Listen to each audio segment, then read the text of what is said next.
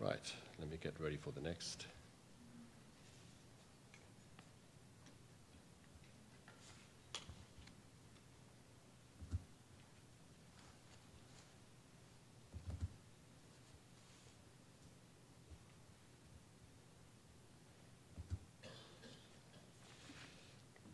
Right, it's, uh, it's now my pleasure to introduce the plenary speaker for session 12, and that is Dr. Eric Galbraith. Dr. Galbraith is a research professor at the Catalan Institute for Research and Advanced Studies, based at the Autonomous University of Barcelona, Spain.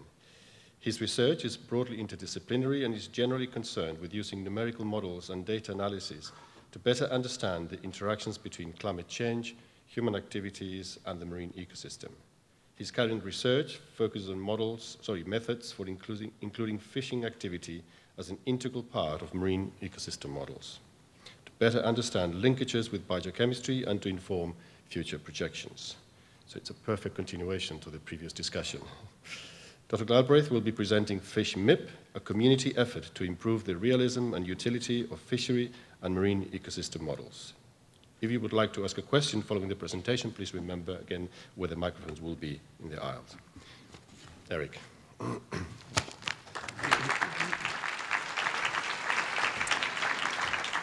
Great, thanks very much, Manuel, and thanks to the organizers, the uh, session 12 organizers for inviting me to give this talk, and to Sarah for that great lead up. That's perfect. Um, actually, I'm not going to talk about what Manuel just said I was going to talk about. that was the workshop on Sunday. Um, I'm actually going to talk about getting the big picture in focus, which is going to be really a pitch for the importance of uh, global models in order to um, understand really what's happening. And I'll argue that it's a picture that's still very blurry at this time. It's early days for this, but I think it's, we're making big improvements. And I'm also happy to not be in triplicate if, uh, if that works, like Sarah. So, as Sarah said, there's a lot of stuff happening in the ocean. It's, uh, it's a bit overwhelming. It's easy to feel a sense of panic. It's hard to understand really just how it all fits together and what the most important things are. So, as Sarah was talking about, models are really great synthesis tools um, in order to understand quantitatively just what the heck is happening right now and try to get a sense of prediction for what might happen in the future. What are the big risks? and what are the places that we can possibly apply pressure in order to make big improvements in future outcomes. And so I'm going to follow on from Sarah and really making a pitch for the global perspective, because I think um, the global perspective is important. Often people are suspicious of a global perspective, I think, especially in the marine ecosystem, because we know how complex it is, even looking at a local point. But I don't think that makes the global perspective any less important for a number of reasons. So one is that we have decided as humans, the dominant global species, to throw a party, and we've invited 10 billion people, and there may be 12 billion showing up by the end of the century, according to the more recent projections. So there are big questions. Can we possibly feed that many people? I don't think the answer to that is clear. And how can we maintain healthy ecosystems and avoid widespread extinctions with that many people on the planet?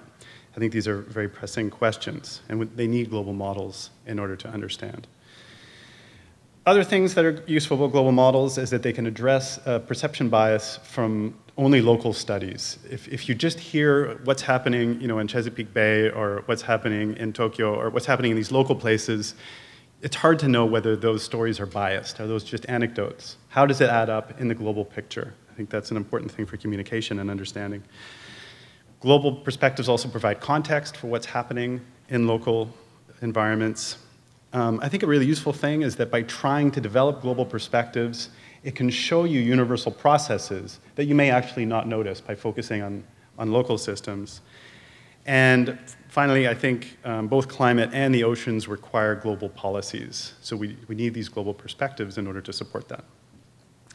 And I'm a big believer in the climate model approach. So by that, I mean taking the, the, the world and dividing it into little boxes in which you can solve equations. You start from some initial set of conditions, you solve the equations in each box, and you step forward through time to create a, a virtual planet with interactions within it. Um, and this has been a, a, hugely successful and important endeavor for climate science. We all know the, the climate model uh, projections, and especially hindcasts. I think hindcasts are a, a, a, wonderful thing that the climate model community does very well. So this picture here is showing from the fifth assessment report, uh, global surface air temperature reconstruction in the black line, and then a couple of the climate model ensemble hindcasts in the colored lines. And you're going to see they, they agree quite well, which gives you some degree of confidence that maybe the models are doing the right things. And even more, you can break down the models into their components. Right, going right. Right, you can break them down into their components. Um, so here this is showing the, the greenhouse gas component of that historical hindcast compared to the natural forcing component dominated by volcanoes. And it's then very clear that most of the historical change can be explained by the model estimate of the greenhouse gas forcing. So this approach really strives for a fundamental basis to the models. I think that's important. It's, it's, you never get exactly to the fundamental physics, but you're always trying to get closer and improve it. Um, you can test the models against past observations, and then this gives you some confidence in the ability to provide future projections on long timescales. So sorry, Alistair, I'm not talking about short term. I'm really talking about long-term timescales, wherever you are. And um, as we've already heard actually this morning, uh, I, in trying to do this, you run into this gap between the natural and social sciences, between the people who study the, you know, the biology and the, the physics and the chemistry of the natural science side of things and the people who study the humans, um, who don't have the same foundations. You know, they, they, tend to be based on looking at things like well-being and, and human values and behavior. And they're not based on physics and chemistry and biology. And so trying to bring those things together is extremely challenging because they're starting from just fundamentally different sets of assumptions and views and approaches. So I really feel that this gap between the natural and social sciences uh, is the most important problem that we have to tackle, and we need much more effort to go into that, as we've already heard a few times during this conference. And I really feel like because of the long uh, history in this community of dealing with, with fishing, which has you know, brought these two things into conflict for a long time, this community is actually on the cutting edge of trying to address that gap between the natural and social sciences. So, so that's my pitch. So now I'm going to talk a little bit about uh, global fish models. And so this is attempting to go from the climate physics that you get out of the GCM to projecting fish at the global scale. And this is a picture from William Cheung's uh, pioneering and very influential paper in uh, 2010 uh, where they tried to use the, the physical environment changes to say something about changes in the distribution and also the fish catch potential for fisheries at the global scale. And um, there's been a, a, big growth in the models that are, have been developed in order to try and look at this. We, uh, we started a few years ago the Fish Model Intercomparison Project that has brought together the, the models names that you see up here. This is an open project. It's not a closed club. We've already had a couple more uh, people join this week, so if anybody else would like to join, it's open. It includes both regional focus models, which are on the left, as well as these global models, which I'm talking more about today on the right. And we have uh, a few initial results from the, the fish model, well, it's the Marine Ecosystems and Fisheries Model Intercomparison Project. Uh, so far. These figures are showing the projected global fish biomass um, into the 21st century from a, an early subset of the, the FishMIP models. So on the left, the time series there is showing three of the global ocean models, and then on the right, you can see uh, in the ocean, it's showing the change in those same models, average between the models. And it's also showing uh, future changes in estimated food production on land in, in that paper by Julia Blanchard.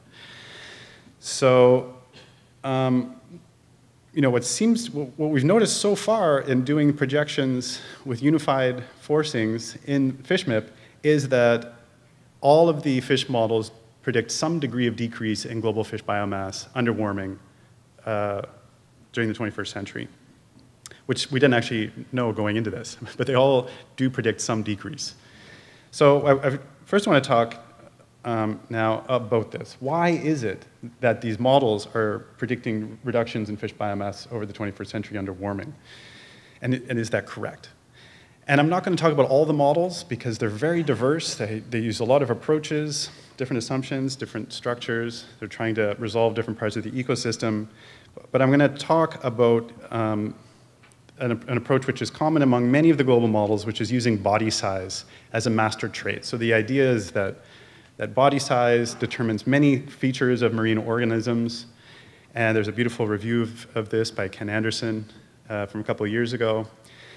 And so you can use this as, a, as an organizing structure for your model and then essentially follow the flow of energy through these size structured organisms in the marine ecosystem. So it's a very general approach that you can apply globally without too many assumptions. And I'll talk about one specific model. This is uh, the BOATS model uh, developed in my group, just because I know it well.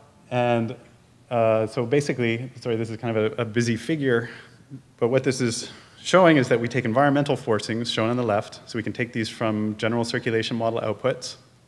We take the field of net primary production, uh, monthly, just integrated vertically, and the water temperature from the, the GCM, and then we feed those into equations that resolve fish biomass spectra.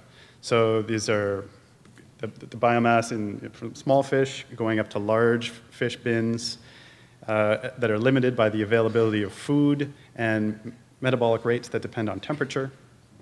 Uh, then there's a recruitment term that feeds eggs back into the bottom of the size spectra. And then there's harvest. And the harvest by fishing activities is determined by a, a, coupled integrated um, economic model that uh, just has very simple uh, dynamics for determining the effort based on the catchability. So that's how good the people are at catching fish per unit effort the ex-vessel price of the fish, and the cost per unit effort. So this all happens inside each grid cell of the model independently and interacts together running forward over time. The uncertain parameters are very important in any model. So we designed this model to be computationally efficient so we could run it uh, 10,000 times. You can't, I don't expect you to read everything on the slide, but the idea is to show that we, we spent some time uh, running the model many, many times with different parameter combinations and then comparing it against data to produce an optimized ensemble of different possible parameter combinations that agreed best with the data in order to try and represent the uncertainty in the model uh, through this parameter spread.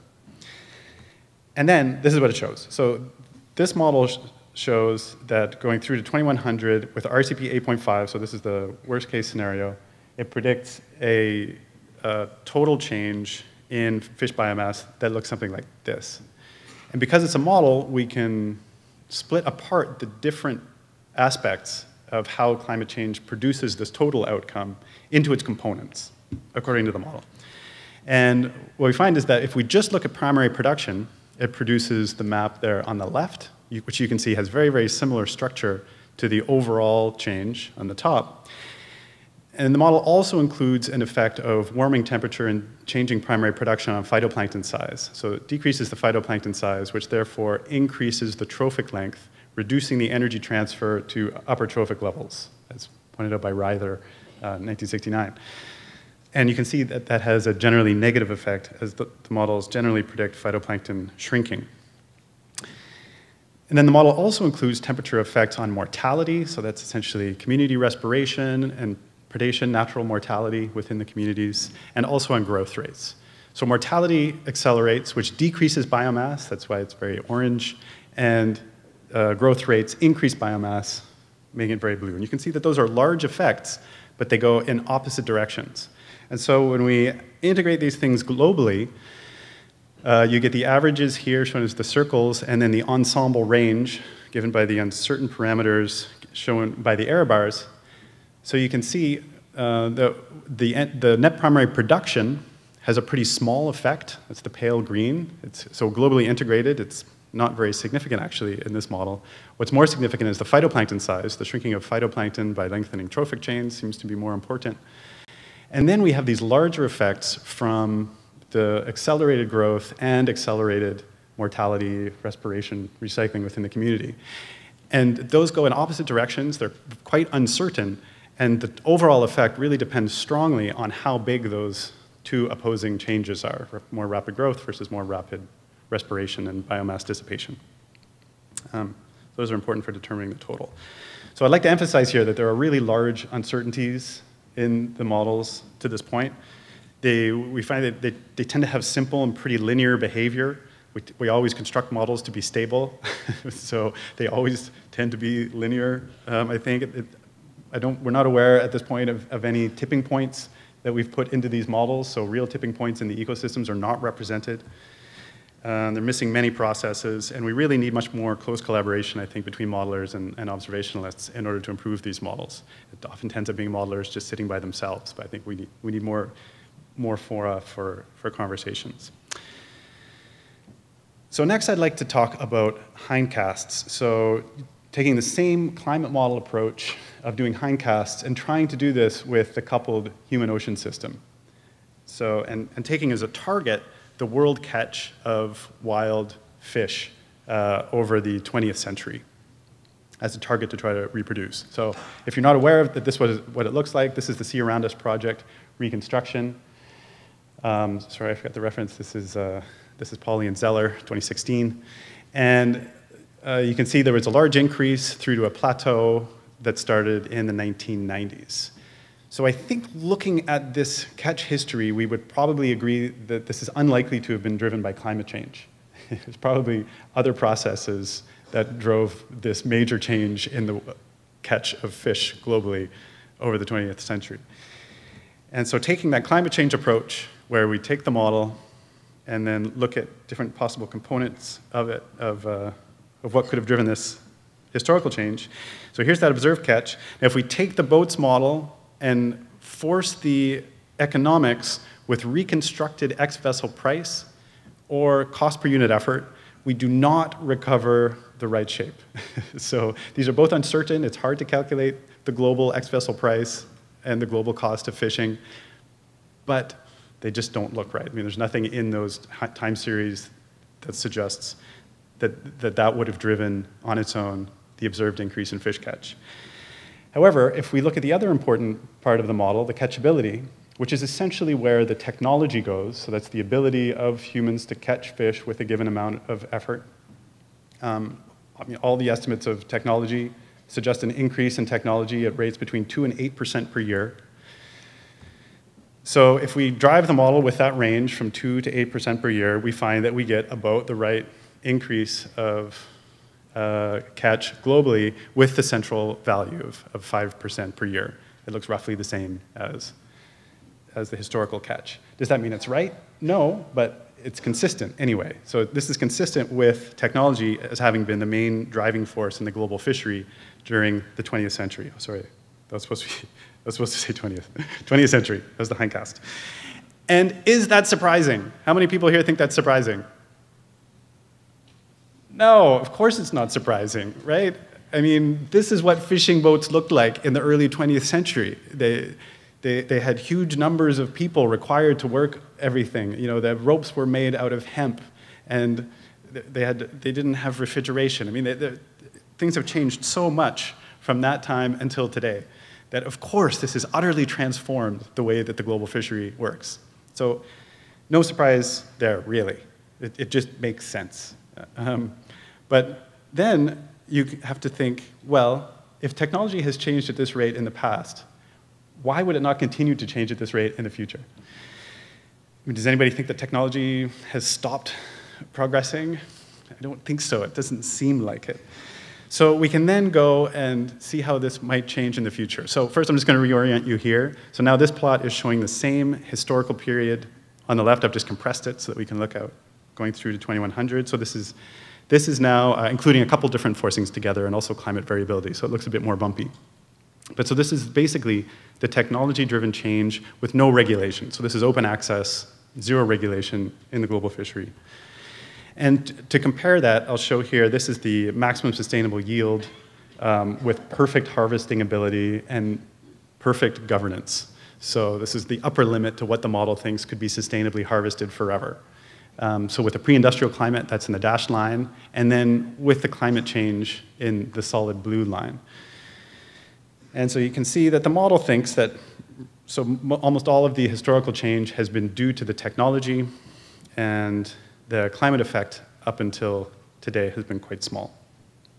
So if we then project forward these three different things, the pre-industrial pre maximum sustainable yield, climate change maximum sustainable yield, and open access with climate change and 5% per year progress in technology, we end up with these projected futures. So suggesting that the that if we with, with zero regulation, the future increases in technology will lead to a drastic decrease in global fish yield. And I don't think this seems intuitively wrong to people who have seen historical progressions in individual fish stocks. It's just the same process writ large. So this suggests that in the future, technology and socioeconomics, again, could play a very large role, but in this time, decreasing the global catch. And the climate change, according to this model, is suggested to be actually a smaller uh, change than the potential that could come from overfishing due to large increases in technical capacity. And if we want to try to make this optimistic, I think, is this optimistic? I think we can say that, that this means there's a, a, very large scope for improvement in the future through regulation, that actually the importance of regulation is going to increase dramatically through the 21st century. So it's already important, and it's just going to get more important as time goes on, um, according to this viewpoint. So does this make sense? I mean, I often find that when I talk to people about this, yes, it makes sense that technology was important in the past, but really, is it really going to get better in the future? Like, isn't this kind of as good as it gets? And I think you can, if you think about it for a while, you can see that there are many things happening that will make it better. I mean, one of the most obvious things is just deployment of existing technology to the huge parts of the world where people are still using relatively simple technology. So just that can make a, a huge difference worldwide. There's, and then there's all kinds of new techn technological things coming. Fish forecasts, we're going to have Argo floats out there with acoustics on them, and then for sure those are going to help people understand better fish behavior and where the big aggregations are, and, and get short-term forecasts of exactly where the fish are so we can target and catch every last one of them. And we won't even have to go ourselves, we'll have robot fishermen. This is actually a real robot fisherman. that thing goes out and vacuums up invasive lionfish by itself underwater. So essentially no human cost. You don't have to pay any labor for the, that to catch fish. So for sure there are new things coming. So management is going to be very important, and it's just one last thing I'll mention here. Uh, this is just a, a, plug for some work that my PhD student Kim Scher is, is doing, uh, putting dynamic regulation into these models. So this is just showing what happens. So, so there's the no regulation, uh, open access version on the right with increasing technology, and then there's some regulation in the middle and perfect regulation on the right. So you see the some regulation does quite well until kind of the mid 21st century, but then it actually tends to crash as well um, as the technology improves more and more and more. And so there's just this, this increasing importance for very high quality regulation and management as the technological incentive to overfish becomes stronger and stronger. So I'll summarize. So I, I, think we really need these global predictive models in order to envision and quantify possible futures uh, as a global species. The existing global fish models so far unanimously predict a decrease of fish biomass due to climate change, but I would stress that these remain highly uncertain, and, but they also lack tipping points, so things could be better than they predict or worse. The non-climate human factors appear to be of comparable or potentially greater importance, and I've focused on technology here, but of course there are many other things going on as well that I think we need to bring into this, this perspective. We can counter climate change impacts to a large degree uh, by improving fisheries regulations at the global scale. And I really think that uh, a critical thing that we need more effort on in science in general is to work on this natural social science integration to build unified ways to look at the, the human earth system. So thanks very much.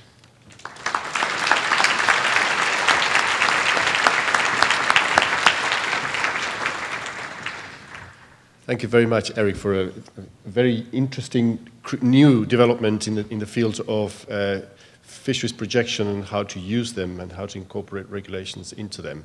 I'm sure there'll be a few questions on the table. Right, so I've got one over here. Please, those that want to have a question, please um, head yourselves towards the microphones in the aisle. Thank you. First one. Okay. Uh, hi, Andy Pershing from the Gulf Maine Research Institute. Fantastic talk.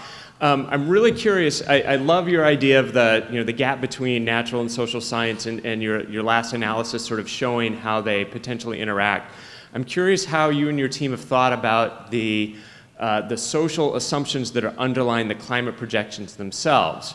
In that RCP 8.5 is a world where humans are essentially unconstrained in their use of carbon, has particular economic assumptions, has particular assumptions about population dynamics of people and our food requirements, and how, that, how you think that would interact with the, uh, uh, with the, the catch dynamics and the, the fisheries in your, in your models. Yeah, that, yeah, super interesting question. I mean, there's so many interesting questions when you, you really start to get into the coupling between the humans and the, the natural world. We haven't tried to look at that um, yet. What, we're, what we are trying to head towards, you know, uh, looking at human behavior in a more direct way that is related to human well-beings and, and behavioral motivations. Um, also looking at population pressures and, and how that relates to, to fishing pressures, especially in, in small scale fisheries.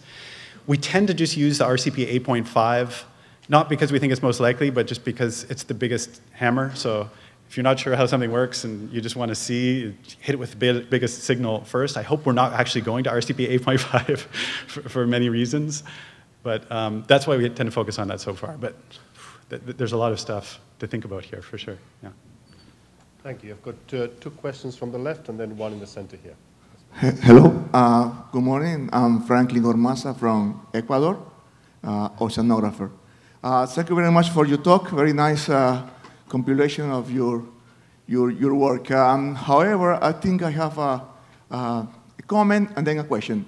Uh, as we can saw, we saw from the well, what, what you showed was that the, all the model was regarding uh, industrial fisheries, according to the picture and, and what you said.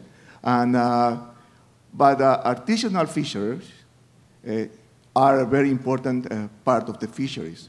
Just to talk about Ecuador, it's a little example. In Ecuador, there are 100,000 fishermen, artisanal fishermen. There are 19,000 boats growing every day. Yeah, and there are 200, 200 uh, big boats. So uh, at least in Ecuador, the artisanal fisheries. Uh, sorry, can you, can you get to the question? Because otherwise we're not oh, going to Okay, okay. So uh, why you don't integrate the, the artisanal fishery within the model, which is, I think, is a big, a big part of, of all the fisheries? Thank you. Okay, thank you. I completely agree. And actually, so the other project that Kim is working on, as well as uh, my postdoc, Sarah Miñarro, they're working exactly on trying to integrate artisanal fishers. But it's difficult because they're not driven by the same profit motive. So, this is, so we're really trying to get into you know, how much it's driven by food security, how much it's just tradition that people just fish regardless. So we're trying to bring that in at the grid scale now as well.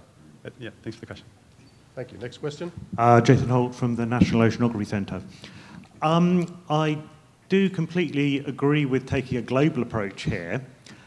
However, one big gap between the social science and the natural sciences is the scales of interactions, and particularly between the, the global approach um, and the information that you can get from global climate models and the experience of individual fishing countries at potentially a much finer scale or, or individuals.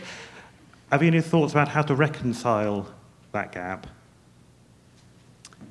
Uh, so sorry, you mean through like management at national levels? Yeah, I, I mean, yeah. essentially, how do you communicate your global answer of a decrease in fisheries to, to what an individual country or region might experience? Right, okay, so we do that by splitting up the, so in the, in the dynamic management, we, we use uh, exclusive economic zones. So what happens within an exclusive economic zone then determines whether or not the a, a fisheries management regime comes into play and can feed back with the uh, effectiveness of that fisheries management system. But this is still in development, so I didn't really show that stuff. And do they generally follow the global picture?